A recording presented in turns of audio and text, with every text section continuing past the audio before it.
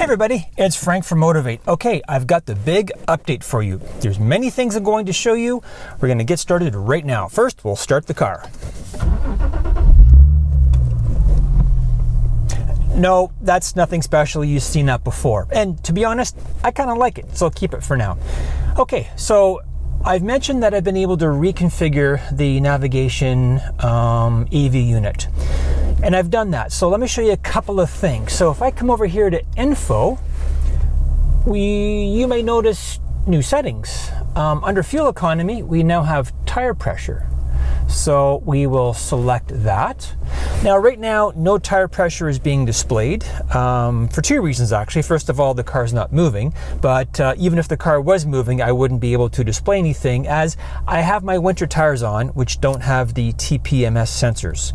Um, however, I have verified this does work uh, on my test bench from a CAN bus log of my car I recorded last summer when I had on my summer tires that do have the tire sensors, and the data was displayed. So that is awesome. We now have an easy way to get tire pressures. What's kind of interesting is it's a real boring display and it doesn't even identify each tire. So I will validate this, uh, but it looks like the very top one is the front left, followed by the front right, followed by the rear right, and the rear left. So just think about it. If you get out of your car and you walk around your car clockwise, that would be the list of tire pressures that are there. Okay, so we'll hit back. And this is kind of a silly thing. We'll come down here to trip computer and hit enter. So here it shows us our elapsed time, driving distance, and average speed. Now, when I first enabled this, I was curious to see what it is going to display. So clearly it's been tracking something for a while because the driving distance is 92,000 kilometers, but my car has like see 120,000 miles. I don't know what's that like a 180,000 kilometers so that's kind of weird there. Um, so we'll just get back from that and we'll come back to here. One more thing. So here we can see we have it on the FM screen that's fine. We're going to push the disc aux button a few times. There's our disc there's our music box there's our Bluetooth audio and we have a new screen aux in. So in the reconfiguring process, we have enabled auxiliary video and audio in. So I've done a bit of testing with a Wi-Fi to video box and I'm able to get my phone screen onto this screen here. The resolution isn't very high just because of the system itself. Basically it's about 640 by 480 so things are a bit fuzzy but it may be useful enough. I'll do some more testing and that will be in a future video where I can show that to you so we can have video on in because I thought that would be kind of nice to have. Okay, so let me get onto the GTR gauges. So this is the unit that does all of the work and it is currently powered by that. And that's just because I haven't put the power supply on the board just yet. This makes it a little bit easier for testing. And of course here is the, as you can see the wire comes into this plug and that comes right down here and we'll get that plugged into the diagnostic port and that's good there. And then now we will Oops, power it up. Ah. Okay, we got red lights, that's good. Now, what I've had to do, I had to put in a six second delay. Now, okay, so just see how that uh, blue light came on? I have to put in a six second delay because this device boots up in like half of a second and the nav unit takes about five. So by having this with a six second delay, it sends out the needed stuff um, in order for the GTR gauges to work. So now, if I push preset one, we have our GTR gauges. Now notice the polyphony digital. So that's the company that Nissan hired to do these gauges. And they are the creators of Gran Turismo for the PlayStation, which is really kind of cool. So we'll talk about the GTR gauges in detail. Um, as I've mentioned, I've been able to sort of do some reprogramming and also I've been able to remap some buttons. So over here we have the TPMS light and I've mapped button six to basically, uh, it's an equivalent function like clearing a check engine light. So I just get my finger there. Okay, we can see the TPMS light is on. I'm going to push it and it's off. So the reason I have it set to a button right now is to understand how often I have to send the reset command to the body control module. And right now it looks like once a day is all that it needs. The TPMS light will come back tomorrow when I drive the car again. So I've got more testing to do because I want to figure out the minimal amount of times to send that command out and uh, to keep the light off. But for right now, it's so nice to have a clear dash. It's just, I don't know, it's, it's awesome, uh, especially when driving at night. Okay, so for the GTR gauges, um, there's multiple ones there. We can use this button here to go across and we can also turn the whole dial.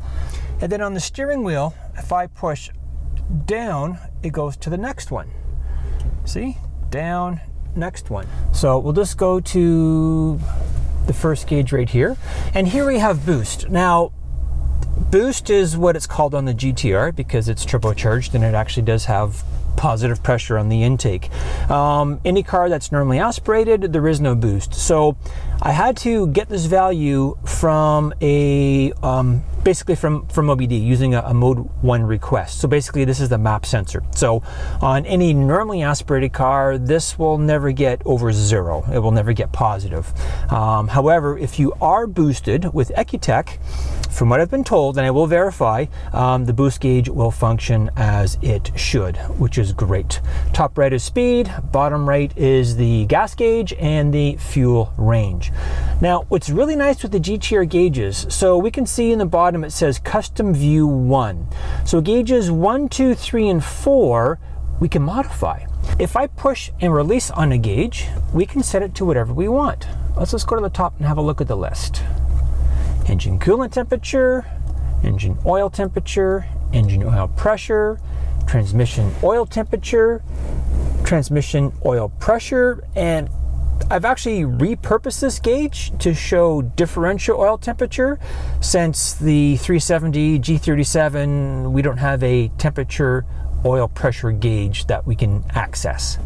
Um, boost, fuel range, fuel flow, recent fuel economy, cornering g-force, acceleration braking g-force. Unfortunately, the car does not have that sensor. The um, G37 370 don't have that sensor, so there's nothing there to show, and it's difficult to add. Um, total g-force, and we can reset it to a default view. So let's just come here and we will look at, oh, I don't know, just for fun, we'll do engine oil pressure. And there is our engine oil pressure gauge which is quite nice. You get a bit more detail. So we'll touch that again and let's make it oil temperature. And there's the engine oil temperature gauge. And that's also kind of nice. So I'm just going to put that back to where it was, which was boost. And there we are. So we're now going to go over to this gauge here. And top left is an engine coolant temperature, engine oil temperature again, engine oil pressure, fuel flow. You can see that there. Uh, transmission oil temperature. Now, my car is a six-speed manual, um, and I have put in a oil temperature sensor. Actually, it's a coolant sensor from a Sentra of all things, um, into the manual transmission to get the manual transmission oil temperature. I was really curious to see how it how high it gets. And then on the bottom right, it says trans oil pressure. I still need to change that text, but basically that is the differential oil temperature. And that's coming from my Bluetooth server sensor. So from the Bluetooth server sensor, we're getting engine oil pressure, transmission oil temperature and differential oil temperature, which is shown on the gauge here, the screen here, the trans oil pressure. So that's kind of cool there. So here we have fuel flow, and from what I've been able to see, of course, this is scaled for the GTR. So basically at 7,000 RPM, wide open throttle, we're right about the two o'clock position. Sorry, I'll go back there. Um, we're about the two o'clock position there is about the maximum gets, at least on my car. My car is stock except for a Stillen exhaust. Top right is fuel range and the gas gauge. Bottom right is the average fuel economy, and that will show up once we are driving a bit. Again, we got the accelerator pedal, we got brake pedal, got our steering and our cornering g-forces, which do work, but the acceleration braking do not, and total g-force, which in this case here, it's just going to be the cornering g-forces. Now, all the screens are labeled A, B, C, D, E, F, and G we cannot change. If I put my finger on it, there's nothing that will happen there. So this shows us acceleration, which will always be zero. We don't have that sensor, it's difficult to add. We do have the map sensor in the top right there. We can see it responding and the accel pedal on the bottom right. Over here on B, we've got braking Gs. Again, don't have the sensor, so nothing will show here but zero. We do have our vehicle speed and our brake pedal percent. Actually, the brake pedal is really brake line pressure. I've just mapped it to um, percent because that's how the gauge is labeled. Over here we have steering. As we can see, we that turns there in the bottom right. And we've got some cornering forces that will show up here. And I'll show you that in a second once we get moving. Screen D, this is gear position. I'll show you this when we're moving as well. Um, it's kind of a neat animation. And um, again, my car is a six-speed manual, so I'm able to calculate the gear that the car is in, and I send it to the um, GTR gauges here as well as on the dash. And I'll show you that once we get rolling. Um, e here is fuel economy. Um, basically, each bar is average fuel economy. It will show up as a vertical bar for each minute. And I've just been sitting here idling, so the fuel economy is low because I'm using gas, but I ain't going nowhere. On F, this is the stopwatch. Unfortunately, this doesn't work. We don't have the button on the steering wheel in order to do this. And same with screen G over here, the driver's notes. We don't have the mark button to do that. Basically, it will just it marks the GPS location or something like that. But we do have a gas gauge in our fuel range, so that's cool there. So we will go back over to well, you know what? We'll just go for a drive right now, and you'll be able to sort of see the gauges move, and I'll cycle through them all right.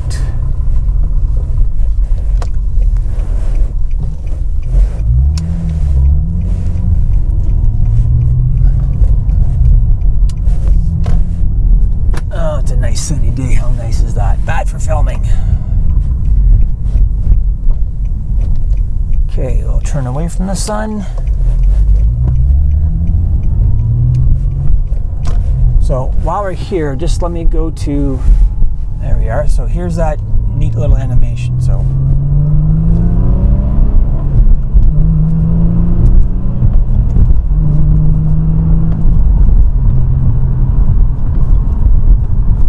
So that's kind of neat. And um, also on the dash, I show have the gear as well, and I'll, I'll show you that once I'm done here. Okay, so now we'll go back to the, we'll just loop around here back to the first screen. Okay. Nothing special there. Here we can see coolant temperature, engine oil pressure, engine oil temperature, all that good stuff. So the gauges are really working quite well. And the last video I showed you, they were a little laggy. I was only sending the data twice a second.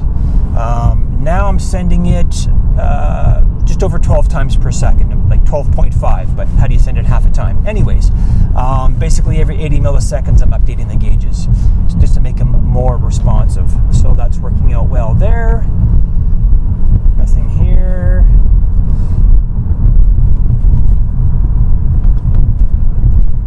That's all good there. Hopefully it's not too blurry. Okay, so, all right, we got braking and steering. Okay, so we've got a bit of a corner coming up. So we get a little bit of a sense of what that looks like. I think that's pretty neat. Okay, so if you look in the dash right there, we can see we have a nice gear position indicator. So it's on both. So if I change gears, see they both update at the same time. Okay, there's two more things I want to show you. The first thing is how to change the units. Now, really, you shouldn't have to do this because whatever units your navigation system is set to, that's the units that are going to be used. But for whatever reason, if you do want to change it, I'll show you right now. So as we can see on the screen, all the temperatures are in Celsius. So if we come down here and select settings, and we go over and down to others and hit enter, come down here to language and units and hit enter, we can come down to units, hit enter, and pick the units we want. So if you want to put that into Fahrenheit, we select enter, and now we just hit back, back, back, and back. And now all of the units are in degrees Fahrenheit. So it's, it's that easy to change. And again, you shouldn't have to do that. Now, the next thing I want to show you requires me to drive the car. So I'm going to do that right now. Okay, so the last thing I wanted to show you is this. So I'm going to put it to the radio, have the volume turned down. Now I've programmed it that as soon as the accelerator pedal is at 80% or more, the GTR gauges come up automatically. So let me show you that right now. So I don't know if it's going to be useful or not, but it's just something I thought I'd test for a while to see exactly how well it works. So let's do that again. We'll go back to radio and we'll accelerate here and they pop up. Anyways, that's all I got for right now. Um, I've got more testing to do. I've got some hardware to make, software to finalize. Um, I'm using every spare moment I have in my free time for this because I think it's really neat and I want to get it out to everybody. So that's my big update. I uh, hope you like it. It's been a lot of fun working through all of these different challenges. And uh, if all goes well, late spring, early summer, hopefully I'll be uh, well underway into testing locally. Anyways, that's it for now. Thanks for watching.